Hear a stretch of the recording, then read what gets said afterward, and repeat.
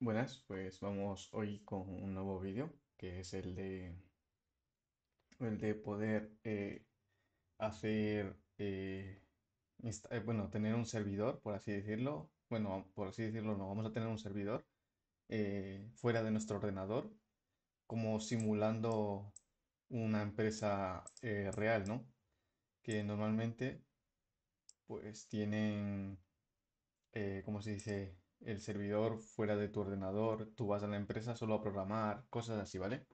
Es decir, como una pequeña simulación, no es que esté todas las empresas así.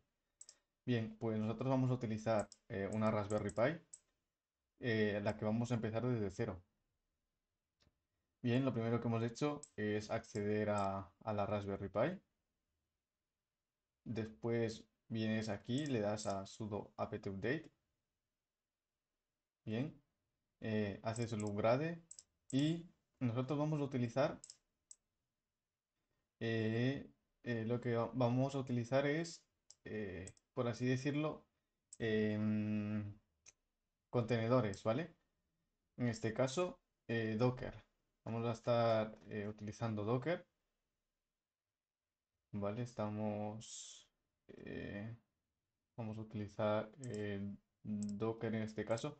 Bien no, te va a salir un error similar a este, me ha salido varias veces. Y como he buscado ayuda, y a día de hoy puedes buscar ayuda, hay muchísima, y también te recomendaría que también puedas consultar a, a lo que viene siendo eh, ChatGPT, ¿vale? Que mm, es, un, es lo mismo que buscar, en vez de buscarlo por Google, le puedes preguntar él, aunque luego te toque buscarlo, ¿vale? A mí me ha tocado buscarlo por Google, de todas formas también varios errores. Y lo que dicen es que este no, es un error que no afecta mucho. ¿Vale? Que tú cuando hagas eh, la siguiente, por ejemplo aquí, como veis, me salió varias veces el error. Y yo estaba como buscando que no me, que no me salga este error, ¿vale? Y simplemente me, me salió que no pasa nada, que es un error normal, que tú le das a instalar el siguiente apartado después de haber hecho el sudo update es hacer el sudo apt install docker, todo esto. Bien, y nos instalaría todo lo de lo que viene siendo el docker. Vale. Luego aquí lo típico, crea, le agregas a nuestro usuario, le agregamos al grupo de docker para que tenga permisos y estas cosas. Bien, aquí vemos nuestro grupo. Y si vemos aquí, a ver, no aparece docker todavía. Tenemos que hacer un logout, salirnos. Y a ver si aquí veo Docker. Luis CD. Vale, otra vez me salí. ¿Qué le puse al final? Un exit. Volví a entrar. Y aquí está, ahora sí. Ah, vale, estaba aquí al final. Sí, sí, apareció. Haciendo un logout y haciendo un logout o un exit, eh, cerramos sesión, volvemos a entrar. Yo estoy accediendo remotamente todo esto. Es como configurarlo remotamente un servidor lo tengo esto fuera, fuera de mi ordenador. Como he dicho, estoy utilizando una Raspberry Pi, no tengo nada que ver aquí con mi Windows. Bien, eh, vemos ya que tenemos el grupo. Aquí probamos, eh, por ejemplo, si traga eh, el comando docker. En este caso sí, me, salió la ayuda. Docker version es la que me interesaba. Y bien, aquí ya empezamos a instalar los, los contenedores que queremos. En este caso, pues empiezo dándole docker run-d, nombre mi Apache, el puerto que vamos a utilizar y nos va a descargar la imagen de Docker, el contenedor de Docker para mi, Raspberry, eh, para mi servidor de Apache. He hecho lo mismo con Postgres. Después lo he pensado bien y voy a hacerlo con MySQL, ¿vale? MySQL he tenido varios errores eh, que son el tipo de versión. ¿Vale? Que no admitía ni Lastes, ni la última, y no admitía tampoco la 5.7. Entonces, hemos, he buscado eh, por internet, he eh, preguntado también a ChatGPT, y te decía que la más óptima es esta, ¿vale? También lo he investigado porque ChatGPT está en el 2022, por si acaso. Bien, una vez ya hecho esto, nos hemos instalado ya nuestra, nuestro MySQL tenemos nuestro servidor MySQL también dentro de nuestra, Raspberry Pi. ¿vale? Y lo siguiente es instalar eh, eh, Git, como podéis ver. ¿Por qué? Porque como os digo, la empresa normalmente vas a trabajar muchísimo con Git. Git para qué se utiliza? Es un control de versiones, ¿vale? Es para controlar las versiones y nos va a servir para cuando hagamos cambio desde mi local, ¿vale? Desde aquí. Cuando haga cambios desde, desde aquí, desde mi local, desde mi Windows, como estáis viendo, vaya a mi servidor. esto se me ha ido por aquí. Vaya a mi servidor y se levante automáticamente. Es decir, vaya a mi servidor y se muestre en, en mi página. Que voy a hacer una página web, ¿vale? En principio es una página web para practicar lo que viene siendo web. Eh, bien, hemos instalado Git, creamos un proyecto que vamos a poner proyecto desde mi servidor Raspi. Le entro dentro y le pongo git init. Bien. Luego lo siguiente que hacemos es un git clone. Voy a clonar el que eh, dentro voy a clonarme el repositorio que es el que voy a trabajar, que se llama proyecto servidor remoto. Es decir, yo este me lo he creado aquí en local, en mi, en mi Windows, porque aquí es donde voy a empezar a utilizar Visual Studio Code. Eh, mi IDE voy a utilizar este o no sé cuál exactamente, porque no sé si voy a hacerlo con Java o con PHP. Es para practicar, así que no sé cuál de los dos, es para gustos. Eh, bien, pues vas a coger, lo vas a, vas a clonarlo. Eh, va a pedirte tus usuarios, bien, tu usuario, tu contraseña, lo vas a clonar. ¿vale? De aquí nada más, de aquí simplemente es clonarlo y vamos a llegar a un punto, esperar que voy a dejar de mostrar la pantalla, ¿vale? Para enseñaros.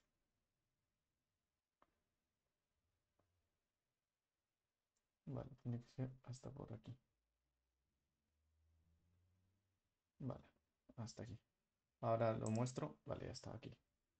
Bien, eh, y lo vais a clonar. Esto de aquí, como veis, es simplemente que he ido haciendo un cd project servidor, a ver si me lo había, me había, me había hecho bien eh, lo del remoto y estas cosas. Sí, estaba metido lo que mi carpeta, me aparecía git y estas cosas. Bien, accedo a mi, accedo a mi proyecto servidor remoto.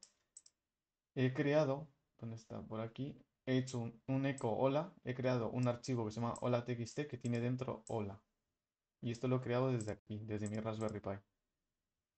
Bien, me he ido para atrás.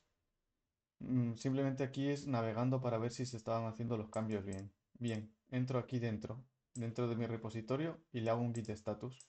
El git status nos sirve para ver qué cambios tenemos. Si nos sale en rojo, esto es un cambio que tenemos dentro de, nuestra, de nuestro repositorio. Como lo quiero subir, le pongo git add el punto que me haga, eh, me suba los cambios que tengo en, esta, en este proyecto y luego le doy un git status y ya me pone verde. Después le pongo un git commit el mensaje que quiero, mensaje de servidor remoto para app y me guardo. Luego le tienes que hacer un git push origin, importante es este. Y aquí tú tienes que meter tu usuario y tu, y tu contraseña. ¿Qué pasa? Que actualmente ya no se utiliza contraseña, sino que tienes que buscar el, un token. Yo en mi caso, el siguiente apartado, tengo mi token que no lo quiero mostrar. Vosotros lo generaríais. ¿Eso cómo se genera? lo voy a mostrar aquí. Vamos aquí. Bien, te vas aquí. Este es mi repositorio por si acaso. Eh, nos vamos a settings, settings, settings, como le quiero decir, developer settings y vas aquí, personal tokens. Te va a salir, eh, yo he utilizado token classic. El, nuevo no sé cuál, será la beta. Simplemente es el token classic. Y os lo muestro como nos da la ayuda. También que es ChatGPT ayuda muchísimo. Y te digo que no. Eh, vamos, si ChatGPT, si antes tú buscabas en Google los errores, yo te recomiendo que sí, que se tiene que utilizar. ¿Vale? Que lo sigas utilizando, que no, no es eh, mal uso. Vale, entonces sí, aquí le preguntamos, ya me he generado mi token, ¿no? ¿Cómo introducir mi token en mi comando git, por ejemplo, eh, para hacer cambios de un repositorio. Vale, nos va a decir aquí el comando. Vamos a generar un token de acceso y sería esto: git remote set url origin y metes aquí la URL del repositorio. Es decir, por ejemplo, metes si mi repositorio es eh, todo esto. A ver dónde está. Mi repositorio sería. Está por aquí arriba. Mi repositorio sería todo esto. Mi repositorio sería todo esto. Y aquí en, tu usuario le pones dos puntos y metes tu token. Y aquí entraría tu token y luego le metes arroba github.com y todo esto. Simplemente es eso. Es eso, ya estaría. Como te sale aquí. HTTPS, eh, tu usuario, dos puntos, tu token, arroba github y el repositorio. Sin necesidad de hacer esto. Esto no hace falta, es decir, bueno, si lo pone ChatGPT imagino que también funcionará, no lo, no lo he probado, este no lo he probado, yo he probado el otro. Simplemente he cogido esto, he hecho como esta ruta, la ruta que veis aquí. Git pull, https, lapinos, dos puntos, pero en vez de pull, eso sí, en vez de pull es git remote set. lo que pasa es que no, a ver, voy a, voy a intentar subir el y quitar el token y poner uno inventado para que lo veáis. A ver si hago esto. Vale. Voy a inventarme el token, ¿vale? Me lo estoy inventando.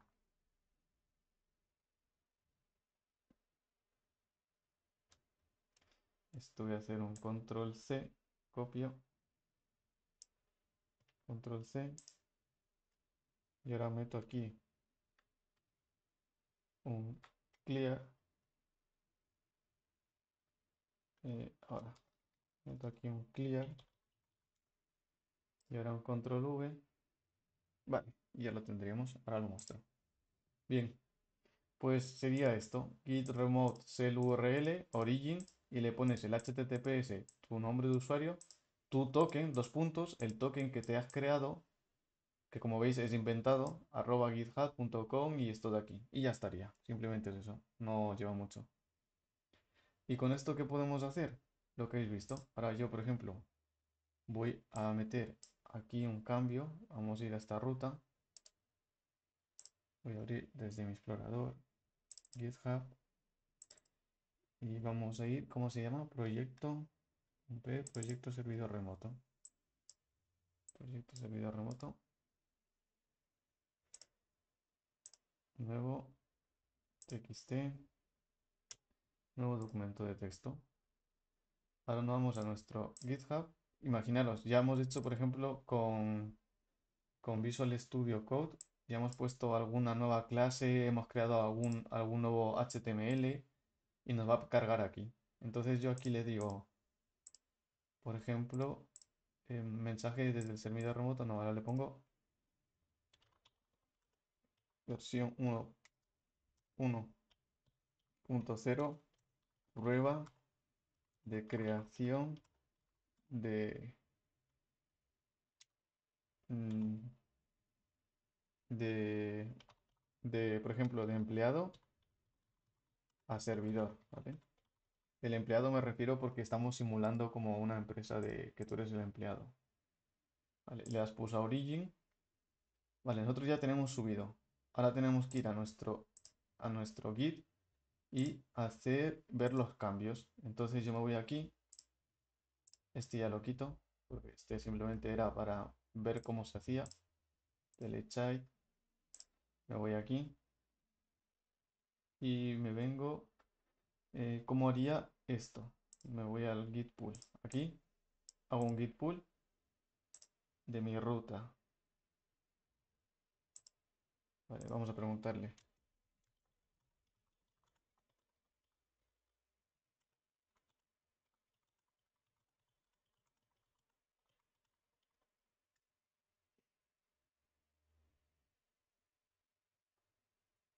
Vale. Y simplemente le ponemos git pull y ya está. Vale, según esto es solo git pull. Borramos todo esto. Y si pongo aquí yo git eh, ya lo tendríamos. Se supone que nos ha traído... A ver, pull, tenemos que ir aquí.